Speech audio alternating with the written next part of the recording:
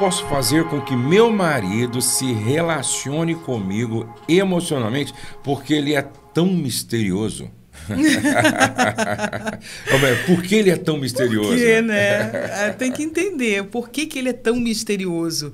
Será que talvez ele não seja uma pessoa é, mais contida, é, que a vida dele é um livro fechado, ele aprendeu, e é do temperamento dele também, uhum, né? Uhum. É, tem um mundo na cabeça dele ali acontecendo, né? De coisas, e ele não é dado a falar, a compartilhar, a, enfim, é, com as pessoas. Ele cresceu com esse hábito, né? E você talvez tenha um perfil diferente, sua vida é, um é. livro aberto, né? Você fala tudo que sente, você conversa com todo mundo, e talvez você, você o esteja julgando como misterioso e seja apenas uma diferença aí de temperamento. Agora, eu não sei que nível de mistério, minha amada, você está falando, né? Há que se entender do que se trata esses mistérios para a gente poder é, dar aqui uma opinião mais, mais assertiva. Agora, é, entre marido e mulher, eu penso, pastor, e eu acredito que essa também seja a sua opinião, não pode haver segredos, né? Uhum, uhum. Não pode não haver pode, segredos. Não pode. É porque se é, como eu estou falando aqui, é uma sociedade, certo? Vamos supor, o Marcão é meu sócio.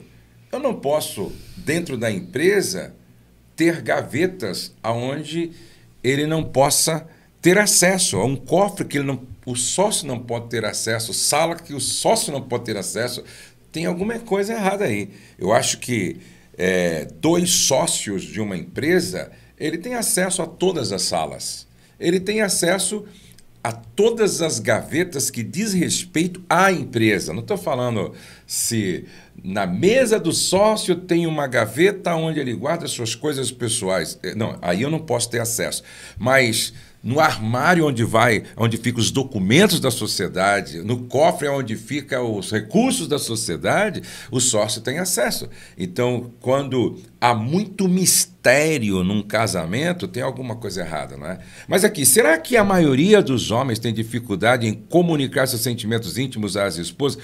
O que você sugere para ajudar o nosso problema de comunicação? E aí, fala um pouquinho, porque eu penso que a maioria dos homens tem dificuldade de entender as mulheres porque elas são emotivas e, e, e, eu já ouvi muito isso. Olha, meu marido conversa na igreja, meu marido conversa no futebol, meu marido conversa no trabalho, meu, meu marido conversa na vizinhança.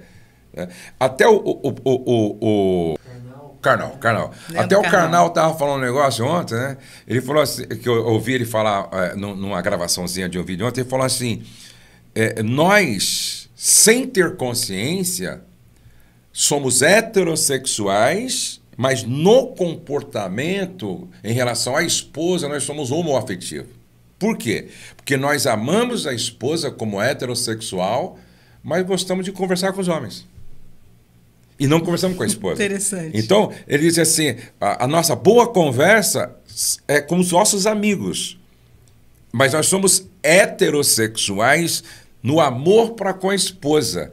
Mas o bom papo mesmo acontece com os homens. E a gente precisa aprender a mudar isso também, né? É, pastor, é um desafio, viu? E eu vou contar aqui um pouquinho da minha experiência como terapeuta de mulheres, né? Atendo muitas mulheres é, e, e, geralmente é uma queixa, né, que elas trazem. E aí o que que eu falo, né? Geralmente acontece duas coisas. Primeiro, a forma como ela está se comunicando, ele não consegue, são frequências diferentes, porque ela fala o tempo inteiro, né, com a emoção muito aflorada, e o homem tem essa dificuldade para entender.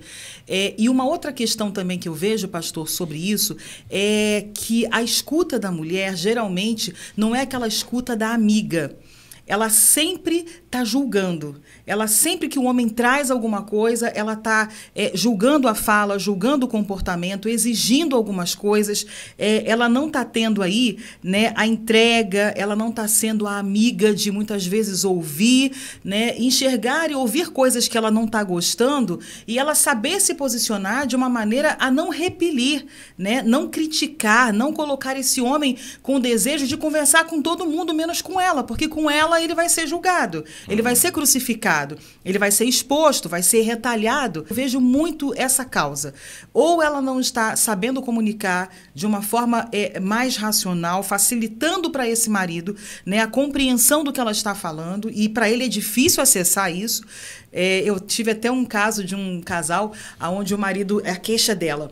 Todas as vezes que nós vamos conversar e eu começo a chorar, ele fica me olhando, ele vira as costas e me deixa chorando sozinha. e ela extremamente magoada, né, com essa atitude dele. E ele simplesmente me olhou e disse: "Gláucia, eu não sei o que fazer com aquela mulher chorando diante de mim. Não combina, né? E, e, eu fico desesperado, sem saber o que falar, porque tudo que eu falo, quanto mais eu falo, mais ela chora. Então eu saio desse ambiente porque, para mim, eu não sei o que fazer, eu me sinto limitado. Né? Então, é, o que eu vejo é isso, né? A mulher não saber é, é colocar uma comunicação para facilitar o, né, o, entendimento do marido. E a segunda, o segundo grande motivo aí é, é, que ela não, não ouve como amiga, ela não ouve com tolerância, ela não ouve com paciência, ela ouve muito com a crítica. E ninguém gosta de ouvir crítica. É óbvio que seu marido é, vai querer dividir com todo mundo, exatamente. menos com você. E, e, uma coisa também é que eu, eu penso que as mulheres precisam aprender. Né? É, eu, eu tenho dito com muita frequência que as nossas emoções são as lentes através das quais a gente interpreta tudo na vida. Uhum. Então, então, eu não vejo as coisas como elas são. Eu vejo as coisas como eu estou. Né? Então, dependendo de como eu estou emocionalmente, eu enxergo o dia. Por exemplo, se eu estou bem emocionalmente, mesmo que esteja que o dia esteja nublado, eu falo, poxa, esse tempinho é delicioso para a gente tirar uma soneca. Eu sempre vou ver o lado bom, uhum. né? É, e tá chovendo, e fala, meu Deus, que delícia. Tá fazendo sol, hoje que sol maravilhoso, né? Vitamina D. Aí, mas se eu não estou bem emocionalmente, o dia pode estar ensolarado. Eu vou reclamar, meu Deus, que calor, que coisa horrível, né? Eu odeio calor, sabe? Então, na verdade, não é o calor, não é o nublado, não é o frio, é você. Agora, o que, que acontece? Eu tenho visto isso com frequência. Inclusive, tem. Eu estou acompanhando um casamento que está acabando. Por quê? Porque a mulher ela está interpretando tudo que o marido fala a partir das suas emoções. Então, por exemplo, ele, ele dá uma opinião, ele, ela acha que ele está se intrometendo onde não deveria. Ele vai tentar explicar e está dando uma aula porque quer ser professor. Aí ele pede uma coisa, não, ele é patrão, ele está mandando. Você, tudo ela faz uma, uma leitura errada. Se ele fala, por exemplo, assim, querida, por que, que você não faz aquele penteado que você fez lá na, no casamento do, do João? Né? Ela está me chamando de descabelada. Entendeu? Já está dizendo que eu estou horrível. Dizer, ela não consegue, ela não consegue é, é interpretar de forma positiva nada. Aí o marido vai chegar uma hora que ele explode.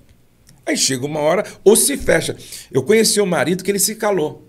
Ele se calou e ele decidiu não falar mais nada. Ah, sim, ah, ok, não, beleza, então, não, você está certa. Ele decidiu, não, aí virou uma guerra fria. Acabou o casamento, se separaram. Então a mulher, nesse aspecto, a Rose, ela lida muito bem com essa situação, entendeu? Ela entende, eu também entendo. Às vezes a Rose fala algumas coisas é, é, é para mim que, que eu entendo. Fala, não, não, não é para o meu mal, é para o meu bem. Ela está querendo me ajudar. E ela, mesma coisa, pô, meu marido está querendo me ajudar. Então, a gente consegue até ter conversas difíceis, como, poxa, Rose, você está um pouquinho acima do peso. Ela não, ela não ouviu, pô, você está gorda. Porque quando a mulher não entende e interpreta tudo de forma negativa, ela está me chamando de gorda. Você está me chamando de já está de olho da vizinha. Quer dizer, tudo errado. Peraí, se meu marido está falando que estou um pouco acima do peso e ele está até querendo me ajudar a fazer comigo uma dieta, que legal. Pô, eu vou fazer. Então, eu acho que as mulheres precisam parar de interpretar tudo a partir do seu estado emocional negativo. Você não acha? É, pastor, eu acho, e eu acho que isso acontece com os homens também, viu? Uhum. É, é, eu acho que a recíproca é verdadeira e, eu, e falta aqui é, uma percepção dos casais de entender né, o que, que é o ser uma só carne, o que, que é não andar sozinho e ter o outro do lado para te ajudar, para que eles entendam né, e saber caminhar um com o outro olhando a nudez do outro sim, e sabendo sim. que quem tem que falar e chamar atenção e ajudar é, é o caso, é o cônjuge que está ali do uhum, lado, uhum, né? Então, quando você é, olha para o casamento entendendo o que, que é ser uma só carne, né? E que você tá ali para ajudar a outra pessoa nas debilidades, porque você também precisa de ajuda, você vai falar e o outro vai ouvir e ter um ouvido, sabe, um filtro ali para entender que o outro não quer ser melhor, que o outro não quer te diminuir, que o outro não tá com o olho fora do casamento, tá ali contribuindo, né? Só que a crítica é difícil de você ouvir. É preciso ter humildade, né, para você ouvir, é, para você saber o que fazer com isso, é, saber também colocar para o outro de uma forma carinhosa, né, de uma forma respeitosa e que ambos entendam que estão ali para serem espelho um na vida do outro, né, para dizer meu bem, olha isso aqui não tá legal e você aceitar de boa e quando também você falar, a outra pessoa entender. Quando o casal, pastor, descobre essa química, é, como fica mais fácil.